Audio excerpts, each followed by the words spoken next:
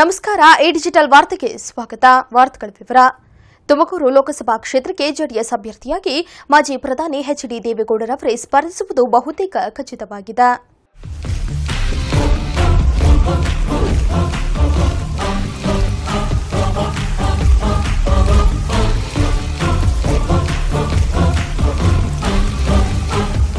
ತುಮಕೂರು ಲೋಕಸಭಾ ಕ್ಷೇತ್ರವನ್ನ ಕಾಂಗ್ರೆಸ್ ತನ್ನ ತೆಕ್ಕೆಗೆ ಪಡೆಯಲು ವಿಫಲವಾಗಿದ್ದು, ಅಂತಿಮವಾಗಿ ಜೆಡಿಎಸ್ ಅಭ್ಯರ್ಥಿಯಾಗಿ ದೊಡ್ಡಗೌಡರ ಸ್ಪರ್ಧೆ ಖಚಿತ ಎಂಬುದು ಉನ್ನತ ಮೂಲಗಳಿಂದ ತಿಳಿದುಬಂದಿದೆ. ಕಾಂಗ್ರೆಸ್ ಸಂಸದರು ಪ್ರತಿನಿಧಿಸುತ್ತಿರುವ ತುಮಕೂರು ಲೋಕಸಭಾ ಕ್ಷೇತ್ರವನ್ನು ಮಿತ್ರಪಕ್ಷ ಜೆಡಿಎಸ್ಗೆ ಬಿಟ್ಟುಕೊಟ್ಟಿರುವ ನಿರ್ಧಾರ ಪುನರ್ ಪರಿಶೀಲಿಸುವಂತೆ ಎಐಸಿಸಿ ಕೇಂದ್ರ ಚುನಾವಣಾ ಸಮಿತಿ ಹಾಗೂ ಪಕ್ಷದ ಹಿರಿಯ ನಾಯಕರಿಗೆ ಉಪಮುಖ್ಯಮಂತ್ರಿ ಡಾ ಜಿ ಪರಮೇಶ್ವರ್ ಒತ್ತಾಯಿಸಿದರು. ಅಲ್ಲದೆ ಆಪ್ತರಾದ ಎಸ್ಪಿ ಮುದನ್ಮೇಗೌಡರಿಗೆ ಕೊನೆ ಗಳಿಕೆಯಲ್ಲಿ ಟಿಕೆಟ್ ಕೊಡಿಸಲು ಶತಾಯ ಗತಾಯ ಶ್ರಮಿಸಿದ್ರು. ಆದರೆ ಅಧ್ಯಾಕು ದೇವೇಗೌಡರ ಆಟದ ಮುಂದೆ ಪರಮಾಟ ನಡೆಯದಂತೆ ಕಾಣ್ತಿಲ್ಲ. ಅಂತಿಮವಾಗಿ ದೇವೇಗೌಡರೇ ಕಲ್ಪತರು ನಾಡಲ್ಲಿ ಸ್ಪರ್ಧೆಗಿಳಿಯುವುದು ಖಚಿತ ಎನ್ನುತ್ತವೆ ಮೂಲಗಳು. ಆಡಳಿತಾರೂಢ ಮೈತ್ರಿ ಪಕ್ಷಗಳ ಹತ್ತು ಸದಸ್ಯರನ್ನೊಳಗೊಂಡ ರಾಜ್ಯ ಚುನಾವಣಾ ಸಮಿತಿ ಸಭೆಯಲ್ಲೂ ಎಲ್ಲ ಹಾಲಿ ಸದಸ್ಯರಿಗೆ ಟಿಕೆಟ್ ನೀಡಬೇಕೆಂಬ ನಿರ್ಣಯ ಕೈಗೊಳ್ಳಲಾಗಿತ್ತು. ಈ ನಿರ್ಣಯದ ಅನ್ವಯ ಮುದ್ದನ್ಮೇಗೌಡ ಅವರಿಗೆ ಮತ್ತೆ ಟಿಕೆಟ್ ನೀಡಬೇಕಾಗಿತ್ತು. ಆದರೆ ಎಸ್ಪಿಎಂಗೆ ಟಿಕೆಟ್ ಕೊನೆಗೂ ಸಿಗಲಿಲ್ಲ. ಮೈತ್ರಿಯ ಈ ನಡೆ ಎಸ್ಪಿಎಂ ಅಭಿಮಾನಿಗಳಲ್ಲಿ ಬೇಸರ ತಂದಿದೆ ಎನ್ನಲಾಗಿದೆ. ಕಳೆದ ಎರಡು ದಿನಗಳಿಂದ ನಡೆಯುತ್ತಿದ್ದ ರಾಜಕೀಯ ವಿದ್ಯಮಾನಕ್ಕೆ ಅಂತಿಮ ರೂಪ ನೀಡಿದ್ದು ಜೆಡಿಎಸ್ ವರಿಷ್ಠರು ಮಾಜಿ ಪ್ರಧಾನಿ ಎಚ್ ಡಿ ದೇವೇಗೌಡರ ಸ್ಪರ್ಧೆ ಖಚಿತವಾಗಿದೆ. ಕಾಂಗ್ರೆಸ್ನ ವಾತೋಟಿಕೆ ಮಾಡಿಯದೆ ದೊಡ್ಡೇಗೌಡರ ಆಟ ಮೇಲುಕೈ ಸಾಧಿಸಿದೆ ಎಂದು ಹೇಳಲಾಗುತ್ತಿದೆ. ಈ ನಿರ್ಣಯ ಕುರಿತು ಯಾರನ್ನ ದೂಷಿಸುವುದಿಲ್ಲ. ಮುಖ್ಯಮಂತ್ರಿ ಎಚ್ ಡಿ ಕುಮಾರಸ್ವಾಮಿ, ಜೆಡಿಎಸ್ ರಾಷ್ಟ್ರೀಯ ಅಧ್ಯಕ್ಷ ಎಚ್ ಡಿ ದೇವೇಗೌಡರನ್ನ ಭೇಟಿ ಮಾಡಿ ಸುದೀರ್ಘವಾಗಿ ಚರ್ಚಿಸಿದವ.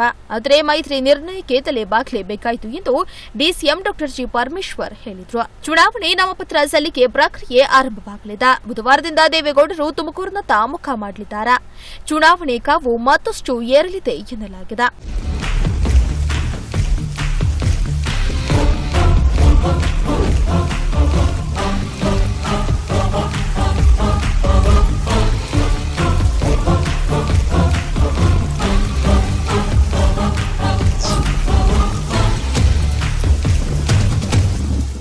ಜೆಡಿಎಸ್ ಭದ್ರಕೋಟೆ ಎಂದೇ ಹೇಳಲಾಗುವ ತುಮಕೂರು ಮೈತ್ರಿಯ ಭಾಗವಾಗಿ ಕಾಂಗ್ರೆಸ್ ಜೆಡಿಎಸ್ಗೆ ಕ್ಷೇತ್ರ ಬಿಟ್ಟುಕೊಟ್ಟಿದೆ. ಕಾಂಗ್ರೆಸ್ ಜೆಡಿಎಸ್ ಮೈತ್ರಿ ಅಭ್ಯರ್ಥಿಯಾಗಿ ಎಚ್ ಡಿ ದೇವೇಗೌಡರು ಕಾಣಕ್ಕೆ ಇಳಿದರೆ ತನ್ನ ತಂತ್ರಗಾರಿಕೆಯಲ್ಲಿ ಬಿಜೆಪಿ ಬದಲಾವಣೆ ಮಾಡಿಕೊಳ್ಳುವುದು ಅನಿವಾರ್ಯವಾಗಿದ್ದು ಸದ್ಯದ ಪಕ್ಷ ಸಂಘಟನೆಗೆ ಮುಂದಾಗಿ ಯಾವುದೇ ಕಾರಣಕ್ಕೂ ಯಾವುದೇ ಭಿನ್ನಾಭಿಪ್ರಾಯ ಬರದಂತೆ ಎಚ್ಚರಿಕೆಯಿಂದ ಕಾರ್ಯನಿರ್ವಹಿಸುವಂತೆ ಬಿಜೆಪಿ ವರಿಷ್ಠರು ಸೂಚಿಸಿದ್ದಾರಂತೆ. ತುಮಕೂರು ಜಿಲ್ಲೆಯ ಹನ್ನೊಂದು ವಿಧಾನಸಭಾ ಕ್ಷೇತ್ರಗಳ ಪೈಕಿ ಬಿಜೆಪಿ ಮತ್ತು ಜೆಡಿಎಸ್ನಲ್ಲಿ ತಲಾ ನಾಲ್ಕು ಶಾಸಕರು ಕಾಂಗ್ರೆಸ್ನಲ್ಲಿ ಮೂರು ಶಾಸಕರು ಇದ್ದಾರೆ. ಆದರೆ ಹನ್ನೊಂದು ವಿಧಾನಸಭಾ ಕ್ಷೇತ್ರಗಳ ಶಿರಾ ಮತ್ತು ಪಾವಗಡ, ಚಿತ್ರದುರ್ಗ ಲೋಕಸಭಾ ಕ್ಷೇತ್ರಕ್ಕೆ ಹಾಗೂ ಕುಣಿಕಲ್ ಬೆಂಗಳೂರು ಗ್ರಾಮಾಂತರ ಕ್ಷೇತ್ರಕ್ಕೆ ಸೇರಿವೆ. ಹೀಗಾಗಿ ತುಮಕೂರು ಲೋಕಸಭಾ ಕ್ಷೇತ್ರ ವ್ಯಾಪ್ತಿಗೆ ಬರುವುದು ಎಂಟು ವಿಧಾನಸಭಾ ಕ್ಷೇತ್ರ. ಈ ಪೈಕಿ ಬಿಜೆಪಿ ನಾಲ್ಕರಲ್ಲಿ ಪ್ರಾಬಲ್ಯ ಸಾಧಿಸಿದರೆ ಜೆಡಿಎಸ್ ಮೂರು ಕ್ಷೇತ್ರದಲ್ಲಿ ಹಾಗೂ ಕಾಂಗ್ರೆಸ್ ಒಂದು ಕ್ಷೇತ್ರದಲ್ಲಿ ಶಾಸಕರನ್ನ ಹೊಂದಿದೆ.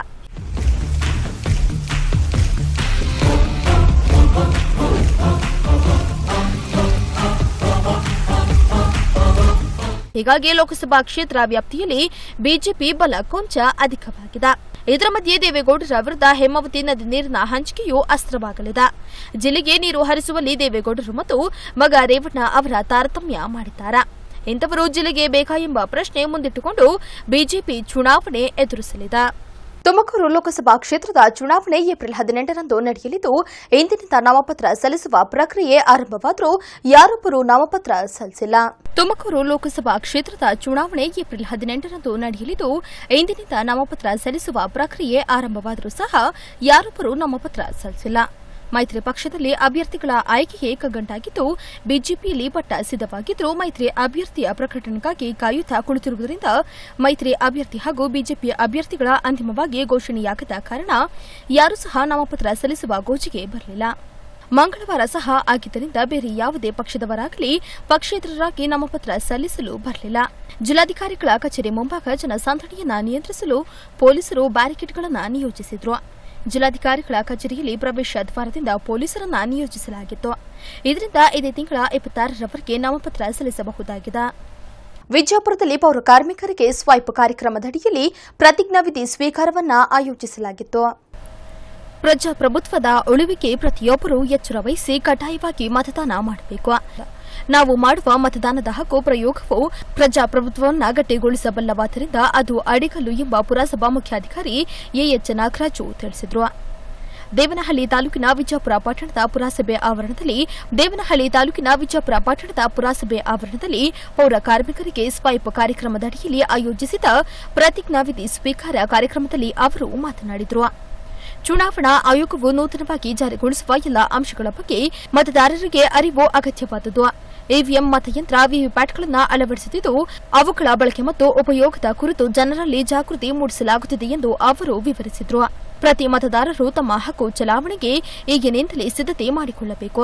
ಯಾವುದೇ ಆಸೆ ಆಮಿಷಗಳಿಗೆ ಬಲಿಯಾಗದೆ ತಮಗೆ ನೀಡಿದ ಹಕ್ಕನ್ನು ಪ್ರಾಮಾಣಿಕತೆಯಿಂದ ಚಲಾಯಿಸುವತ್ತ ಎಲ್ಲರೂ ಗಮನ ವಹಿಸಬೇಕು ಎಂದರು. ಭಾರತದ ಪೌರರಾದ ನಾವು ನಮ್ಮ ದೇಶದ ಪ್ರಜಾಸತ್ತಾತ್ಮಕ ಸಂಪ್ರದಾಯಗಳು ಮತ್ತು ಮುಕ್ತ ನ್ಯಾಯಸಮ್ಮತ ಮತ್ತು ಶಾಂತಿಯುತ ಚುನಾವಣೆಗಳ ಘನತೆಯನ್ನು ಎತ್ತಿ ಹಿಡಿಯುತ್ತೇವೆಂದು ಮತ್ತು ಪ್ರತಿಯೊಂದು ಚುನಾವಣೆಯಲ್ಲಿಯೂ ನಿರ್ಭೀತಿಯಿಂದ ಮತ್ತು ಧರ್ಮ, ಜನಾಂಗ, ಜಾತಿ, ಮತ, ಭಾಷೆ ಅಥವಾ ಯಾವುದೇ ಪ್ರೇರೇಪಣೆಗಳಿಗೆ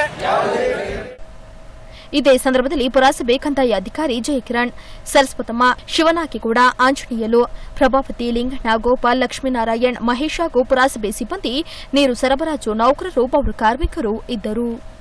ತುಮಕೂರಿನ ಬಂಡಿಮನೆ ಕಲ್ಯಾಣ ಮಂಟಪ ಮುಂಭಾಗ ಸಂಭವಿಸಿದ ಅಪಘಾತದಲ್ಲಿ ದ್ವಿಚಕ್ರ ವಾಹನ ಸವಾರ ಸ್ಥಳದಲ್ಲಿ ಮೃತಪಟ್ಟಿದ್ದಾನೆ.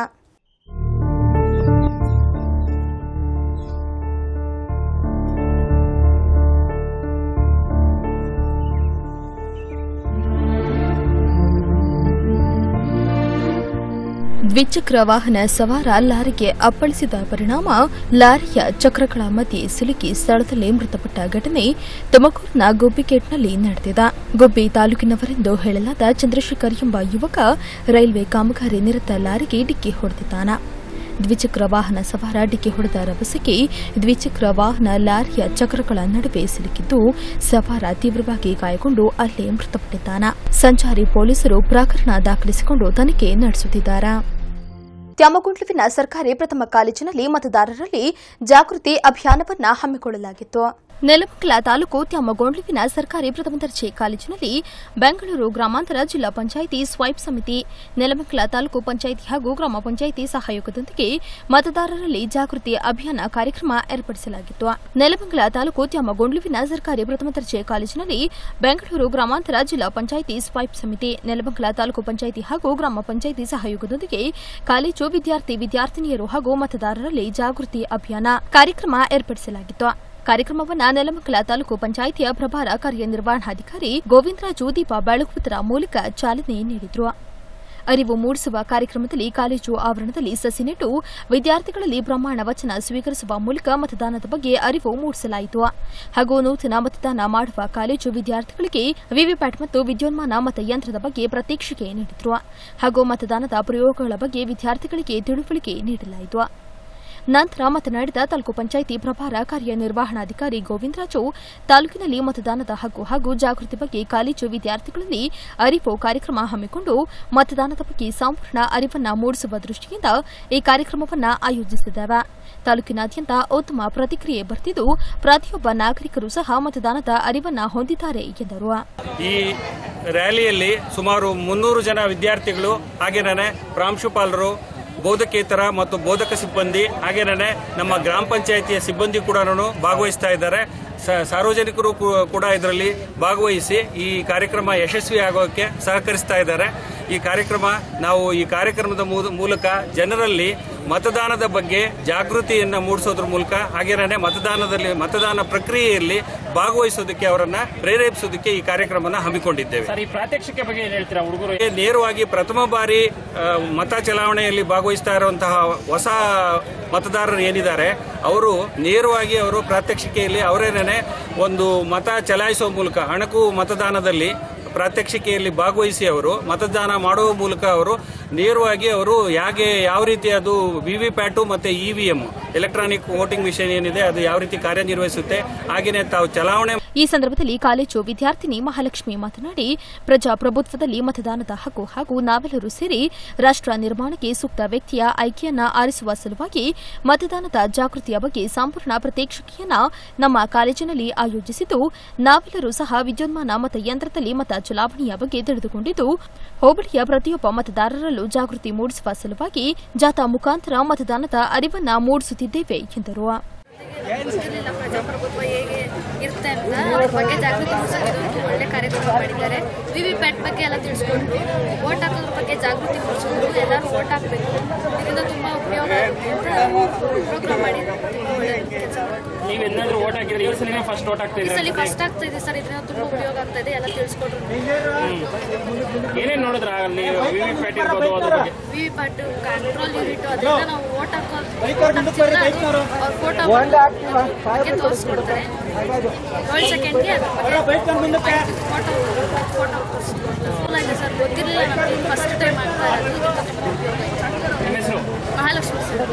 ಏನು ಸರ್ ಕ್ಯಾಂಟೀನ್ ಈ ಸಂದರ್ಭದಲ್ಲಿ ಕಾಲೇಜಿನ ಆಡಳಿತ ಮಂಡಳಿ ಹಾಗೂ ಸುಮಾರು ಮುನ್ನೂರಕ್ಕೂ ಅಧಿಕ ವಿದ್ಯಾರ್ಥಿಗಳು ರಸ್ತೆಯುದ್ದಕ್ಕೂ ಮತದಾನದ ಘೋಷಣೆಗಳನ್ನು ಕೂಗುತ್ತಾ ತ್ಯಾಮಗೊಂಡ್ಲುವಿನ ದೇವರಾಜ ಸರ್ಕಲ್ನಲ್ಲಿ ಮಾನವ ಸರಪಳಿ ನಿರ್ಮಿಸಿ ಸಹಿ ಹಾಕುವ ಮೂಲಕ ಸಹಿ ಸಂಗ್ರಹಣೆ ಮಾಡಿದರು. ಈ ಸಂದರ್ಭದಲ್ಲಿ ತಾಲೂಕು ಸಹಾಯ ಕಾರ್ಯನಿರ್ವಹಣಾಧಿಕಾರಿ ಲಕ್ಷ್ಮೀನಾರಾಯಣ್, ಉಪತಹಸೀಲ್ದಾರ್ ರಾಜೇಂದ್ರಕುಮಾರ್, ಪ್ರಾಂಶುಪಾಲ ಬಸವರಾಜು, ಗ್ರಾಮ ಪಂಚಾಯಿತಿ ಪಿಡಿಒ ರವೀಂದ್ರ ಸೇರಿದಂತೆ ಕಾಲೇಜು ಉಪನ್ಯಾಸಕರು ಹಾಗೂ ವಿದ್ಯಾರ್ಥಿಗಳು ಭಾಗವಹಿಸಿದ್ರು. ತುಮಕೂರು ಮಹಾನಗರ ಪಾಲಿಕೆಯು ಫುಟ್ಪಾತ್ ವ್ಯಾಪಾರಿಗಳಿಗೆ ತೊಂದರೆ ನೀಡಿದರೆ ಉಪವಾಸ ಸತ್ಯಾಗ್ರಹ ನಡೆಸುವುದಾಗಿ ಮುಖಂಡ ಬಾಬಾ ಎಚ್ಚರಿಸಿದ್ದಾರೆ.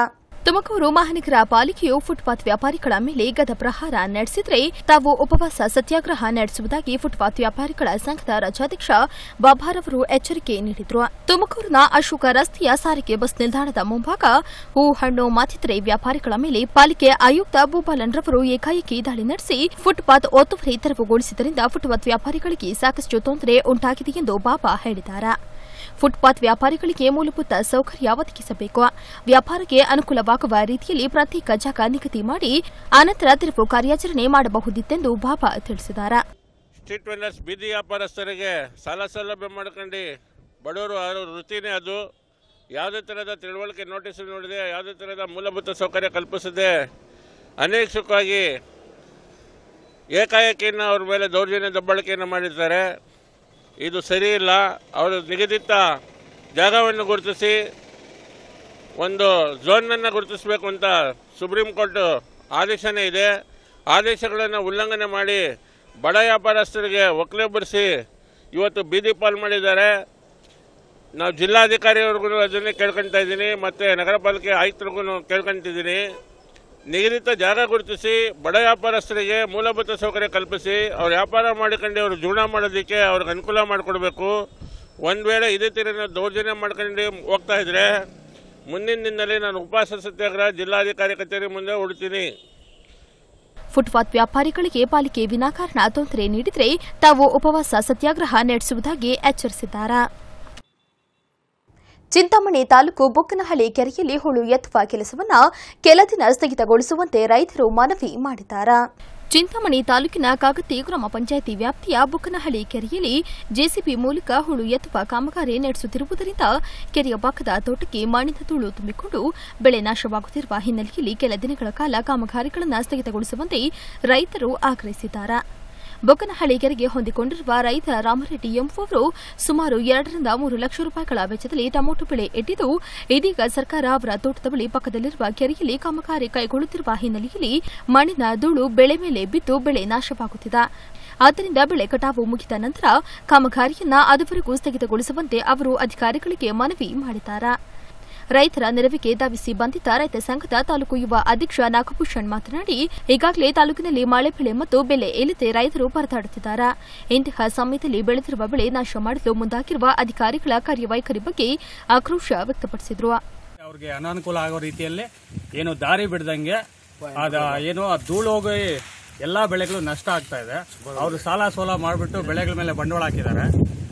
ಈಗ ಬೇರೆ ಬೋರ್ವೆಲ್ಗಳಲ್ಲಿ ನೀರಿಲ್ಲ ಅಂತ ಹೇಳ್ಬಿಟ್ಟು ಚಿಕ್ಕಬಳ್ಳಾಪುರ ಮತ್ತು ಜ- ಕೋಲಾರ ಡಿಸ್ಟ್ರಿಕ್ಟ್ ಅಲ್ಲಿ ಎರಡು ಡಿಸ್ಟ್ರಿಕ್ಟ್ ಅಲ್ಲಿ ಬರಗಾಲ ಪ್ರದೇಶ ಬರಗಾಲ ಜಿಲ್ಲೆ ಅಂತ ಹೇಳ್ಬಿಟ್ಟು ಘೋಷಣೆ ಮಾಡಿದ್ರು ಈ ಸರ್ಕಾರ ಮಾಡ್ತಾ ಇರ್ತಕ್ಕಂಥ ಈ ಕೆಲಸದಿಂದ ಈ ಸುತ್ತಮುತ್ತಲು ತೋಟಗಾರ ರೈತರಿಗೆ ತೊಂದ್- ತುಂಬಾ ತೊಂದರೆ ಆಗ್ತಾ ಇದೆ. ಫಸ್ಟ್ ಗ್ರಾಮ ಪಂಚಾಯತಿಂದಾಗ್ಲಿ ಜಿಲ್ಲಾ ಪಂಚಾಯತಿಂದಾಗ್ಲಿ ಈ ಹೂಳೆತ್ತ ಒಂದು ವಿಷಯವನ್ನು ರೈತರಿಗೆ ಫಸ್ಟ್ ಇನ್ಫಾರ್ಮೇಶನ್ ಕೊಟ್ಟು ಅವ್ರಿಗೆ ಏನು ತೊಂದರೆ ಆಗ್ದಂಗೆ ಮಾಡಬೇಕು ಅನ್ನೋದನ್ನ ಅವರು ಅರ್ಥ ಬಿಟ್ಟು ಆಮೇಲೆ ಬಂದು ಇಲ್ಲಿ ಕೆಲಸ ಮಾಡಬೇಕಿತ್ತು. ಡೈರೆಕ್ಟ್ ಆಗಿ ಲಕ್ಷಾಂತರ ರೂಪಾಯಿಗಳ ವೆಚ್ಚದಲ್ಲಿ ಬೆಳೆ ಇಟ್ಟಿದ್ದು ಬೆಳೆ ನಾಶವಾಗದಂತೆ ಕಾಮಗಾರಿ ಕೈಗೊಂಡರೆ ನಮಗೇನು ಅಭ್ಯಂತರ ಇಲ್ಲ. ಆದರೆ ಬೆಲೆ ಇರುವ ತೋಟದ ಪಕ್ಕದಲ್ಲಿ ಹುಳು ಎತ್ತುವ ಕಾಮಗಾರಿ ಕೈಗೆತ್ತಿಕೊಂಡಿರುವುದರಿಂದ ಬೆಳೆ ನಾಶವಾಗುವ ಹಿನ್ನೆಲೆಯಲ್ಲಿ ಅಧಿಕಾರಿಗಳು ಕೂಡಲೇ ಸ್ಥಳ ತನಿಖೆ ನಡೆಸಿ ಕೆಲ ದಿನಗಳ ಕಾಲ ಕಾಲಾವಕಾಶ ನೀಡಿ ಬೆಳೆ ಮುಗಿದ ನಂತರ ಹುಳು ಎತ್ತುವ ಕಾಮಗಾರಿ ಕೈಗೆತ್ತಿಕೊಳ್ಳುವಂತೆ ಅವರು ಮನವಿ ಮಾಡಿದ್ದಾರೆ.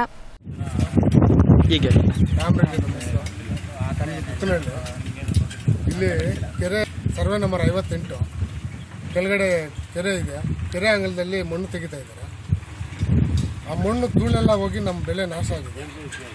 ಎಲ್ಲ ಮುಚ್ಕೊಂಡು ಎಲ್ಲ ಹಾಳಾಗೋಗಿದೆ. ಸುಮಾರು ಒಂದು ಎರಡು ಲಕ್ಷ ನಾವು ಇವಕ್ಕೆ ಖರ್ಚು ಮಾಡಿದ್ದೀವಿ. ನೀರಿಲ್ಲ.